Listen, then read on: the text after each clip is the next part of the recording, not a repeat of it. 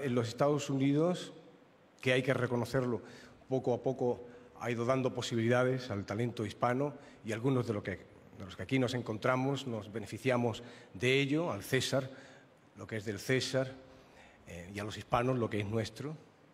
Es allí, repito, donde llego a comprender la dimensión real, el carácter universal, el indudable potencial y la fuerza incontenible de lo latino.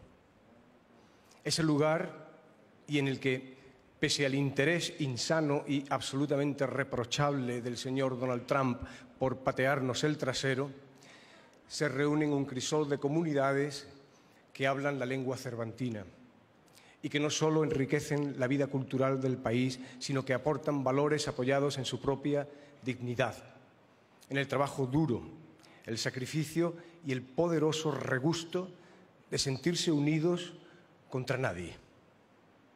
Efectivamente, sin enfrentamientos, con el corazón abierto, con la curiosidad por bandera y con la idea clara de aunque todos amamos a nuestros países de origen, podemos sin duda abrazar la idea de lo latino y el orgullo de sentirse hispanos. Pienso que estos premios latinos son una plataforma para iniciar un camino que nos ayude a consolidar el respeto que ha adquirido la cinematografía latina, que nos permita reivindicar nuestra lengua en las producciones y que nos haga fuertes para poder competir en igualdad de condiciones, ni más ni menos. Nadie nos valorará si no lo hacemos nosotros, primero.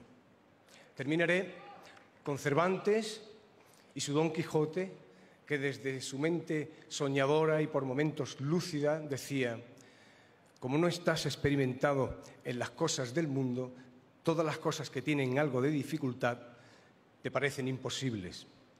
Confía en el tiempo, que suele dar dulces salidas a muchas amargas dificultades. Muchas gracias.